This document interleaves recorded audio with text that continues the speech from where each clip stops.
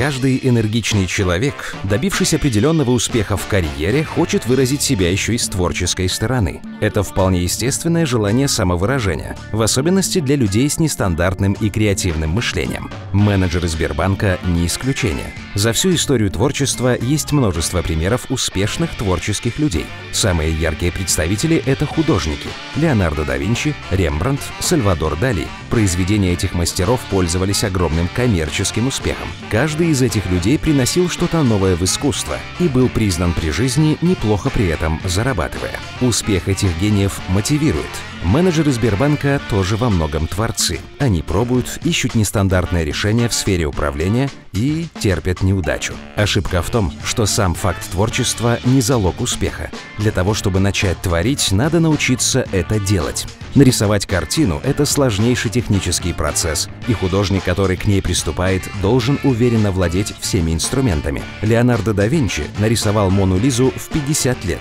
Но вплоть до этого времени он упорно учился в мастерской, осваивал профессию, изучал инструменты. Для создания шедевра ему понадобился не только полувековой жизненный опыт, но и знание технологии. Только постоянная практика и обучение позволили ему найти свой стиль. Ну, дело в том, что владение э, техникой живописи – это очень многолетний процесс. Э, даже для того, чтобы поступить в ВУЗ, вы должны несколько лет овладевать сначала просто рисунком. Прежде чем приступить к краске, вы должны уметь карандашом строить форму. Это целая наука. Даже куб построить – это очень сложно. И отштриховать его, чтобы тени падали. После этого начинается э, осваивание композиции, цветовой гармонии, анатомии. В общей сложности лет 10 у вас уйдет. По большому счету все 15. Целый ряд художников потратил на то, чтобы овладеть э, искусством, техникой и выявлением смысла всю жизнь.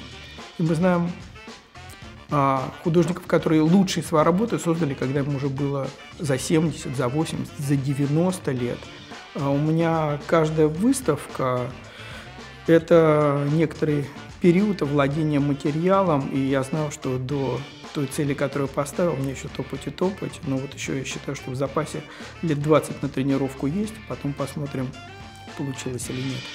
Точно так же и в бизнесе. Какой бы гениальный ни был менеджер, он не сможет справиться с поставленной задачей на голом таланте. Как и художнику, менеджеру для победы необходимо владеть инструментами, знать технологию и иметь опыт. К сожалению, большинство менеджеров, получивших определенную власть, не понимают этого и терпят неудачи. Творческое видение – это прекрасная черта для работника компании, и мы ценим таких людей.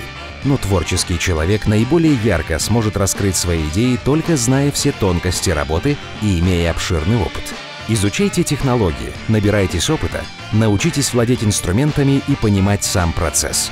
Только так вы сможете добиться успеха и удержаться на лидирующих позициях.